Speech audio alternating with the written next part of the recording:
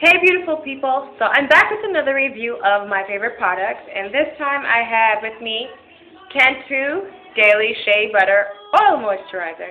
Now I really really love this product because it helps detangle my hair when it is dry. It also keeps my hair very very soft and I'm quite pleased with it. It's relatively light so I just use a dime full and disperse it throughout my hair and I'm good. I also use it after I co-wash, and I like to put like a little bit of olive oil in my hair after I co-wash, plus this, and it's been working well for me ever since I've been using it so far. Now the only con I have to warn you guys about is that it has dimethicone. However, I know, I know, naturals are not supposed to use anything with cones, but it hasn't dried out my hair it's only ever made my hair feel good, so I'm just going to keep using it. I listen to my hair. I basically do whatever my hair tells me to do.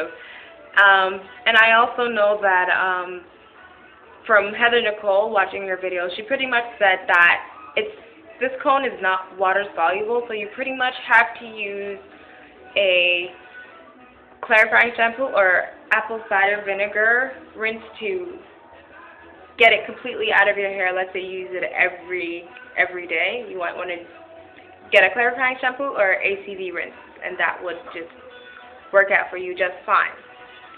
And I know that a lot of naturals who use Cantu Shea Butter, the one in the jar, have mentioned that it reacts with other products if it's mixed with other products and it clumps.